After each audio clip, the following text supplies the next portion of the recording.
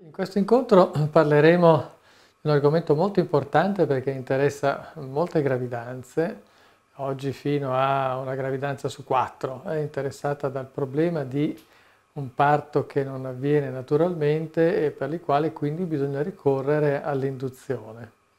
Perché? Beh, normalmente la gravidanza dura 40 settimane e qualche giorno, quindi sostanzialmente sono 10 lune, no? Due, due, una luna sono 28 giorni, 10 lune sono 280 giorni e quindi la gravidanza di regola arriva a termine in 40 settimane. 7 per 4, 28. Quando non succede, che cosa fare? Ecco, che cosa fare? Oggi di regola si ricorre, quando si è superato gli 7-10 giorni questo termine, si ricorre a delle procedure molto semplici di induzione del travaglio, cioè di attivare il travaglio con metodi medici. E questo perché? Perché la placenta, sappiamo, è un organo che dopo un po' funziona meno e il rischio è andando molto oltre che il bambino in qualche misura ne risenta. Questo è lo stato dell'arte oggi. Da alcuni anni, da qualche anno, eh, è subentrato un po' un atteggiamento molto interventista in alcuni centri, soprattutto negli Stati Uniti, fino a pensare di indurre con metodi farmacologici, quindi non naturali, tutte le gravidanze dopo 39 settimane, quindi diciamo quasi una settimana prima del termine dovuto.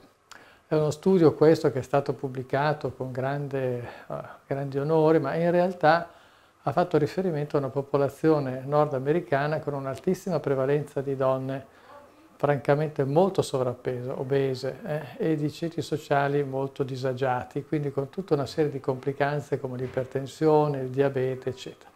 Quindi la discussione che avremo in questa giornata sarà proprio un confronto tra quello che facciamo noi mangiagalli, ma in generale in Italia, e quello che viene proposto in altri paesi. Mm?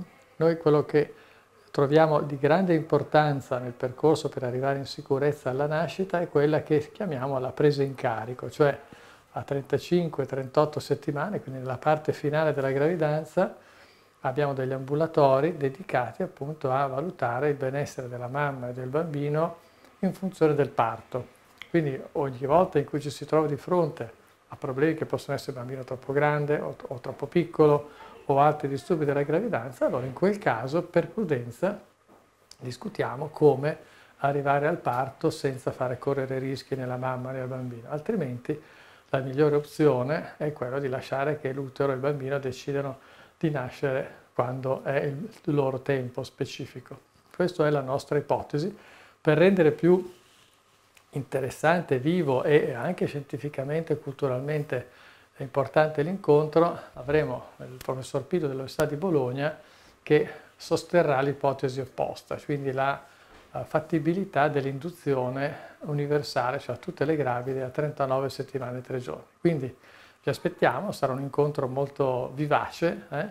da una parte quello che, che, facciamo, che fa la maggior parte dei centri italiani, dall'altra un'ipotesi recente eh, con dati anche interessanti da valutare sulla induzione di tutte le gravide dopo 39 settimane.